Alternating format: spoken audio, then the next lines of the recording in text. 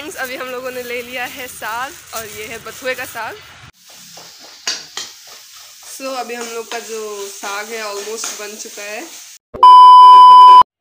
So hi guys welcome back to another blog और अभी सुबह की शुरुआत हमारी हो रही है छत पे से और देखिए हल्की हल्की सी धूप निकली हुई है और हवा भी चल रही है कोहरा भी है सब एक ही साथ में चल रहा है यहाँ पे।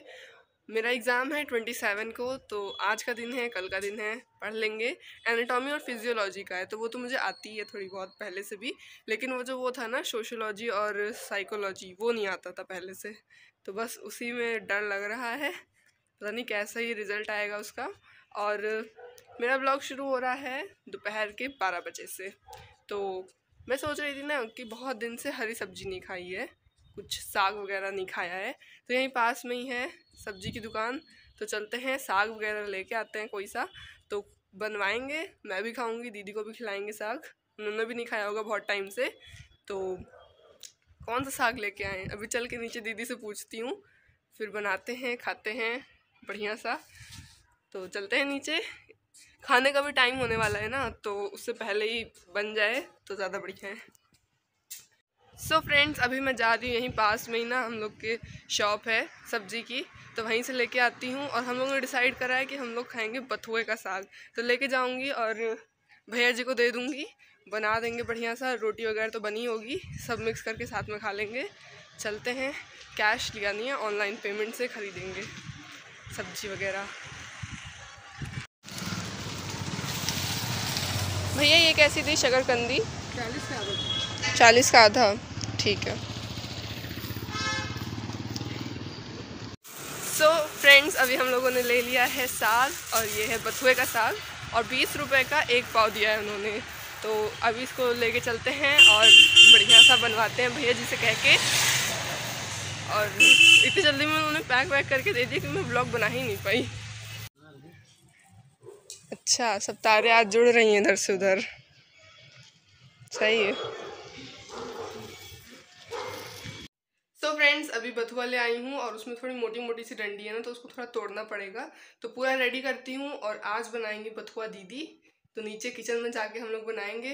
तो दीदी को नहीं दिखाऊँगी लेकिन उनके हाथ की रेसिपी दिखाऊँगी कैसे बनाती हैं।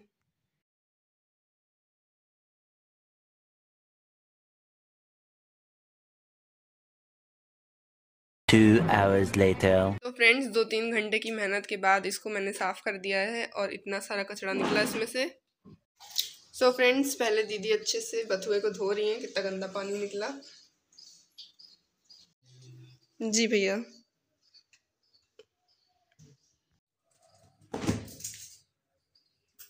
मिर्च। कितनी दूँ?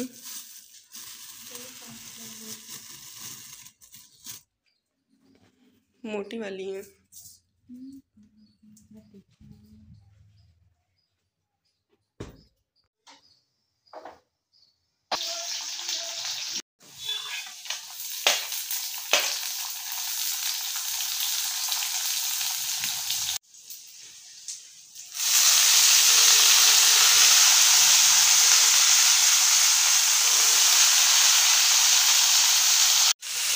तो हम लोग का जो साग हम लोग बना रहे हैं, छोटी सी कढ़ाई है, इतनी बड़ी सी चम्मच है और उसमें बन के इतना सा रेडी होगा वो।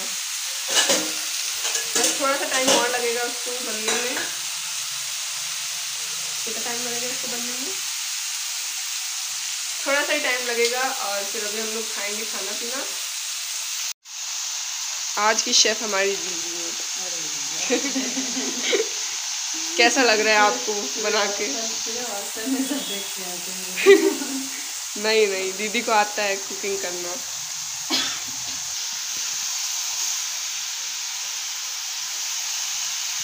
खुशबू तो अच्छी आ रही है।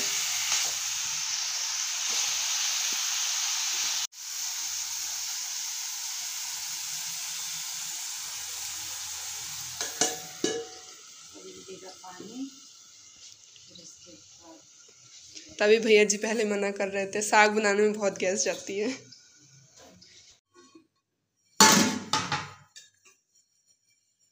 अब गाइस हम लोग को ये वाली चम्मच चाहिए। अभी इसको लेके चलते हैं।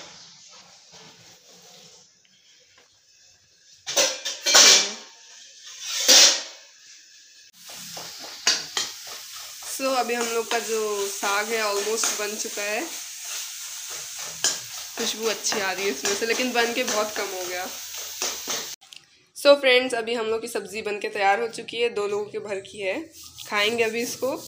और फ्रेंड्स हम लोग के साथ काफ़ी अच्छा को इंसिडेंस हो गया। भैया जी ने भी आज बथुए की ही दाल बनाई है, वो काली वाली जो होती है।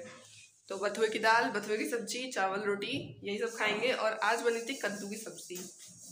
देखने में अच्छी नहीं लग रही है। तो थोड़ी और मतलब सूखी अगर उसको बनाते तो ज़्यादा अच्छी लगती। लेकिन कोई बात नहीं, हमारे पास आज सब्ज़ी हमारी खुद की बनाई हुई है। तभी खाना पीना लेके चलते हैं रूम में, खाते हैं बढ़िया बैठ के। आज हम खाएँगे बढ़िया सा खाना।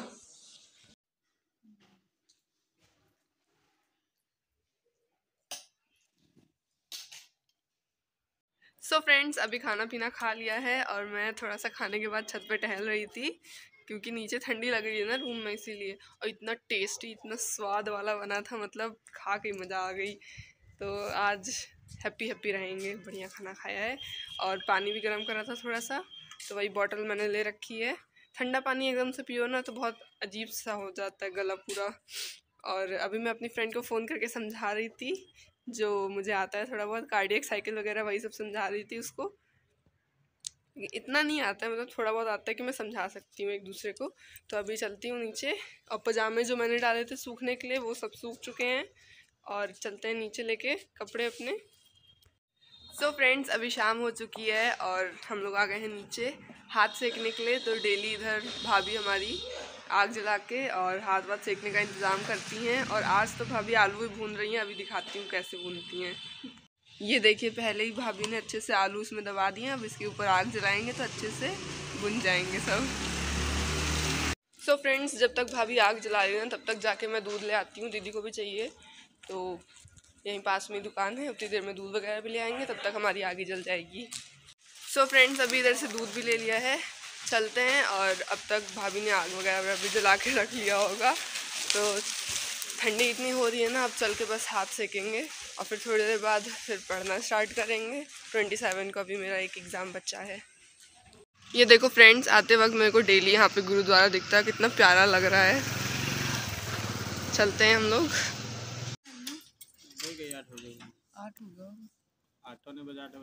आठ दस। मतलब ये देखिए फ्रेंड्स हमारे आलू बढ़िया भुन चुके हैं। अभी इनको छील दूँगी मैं।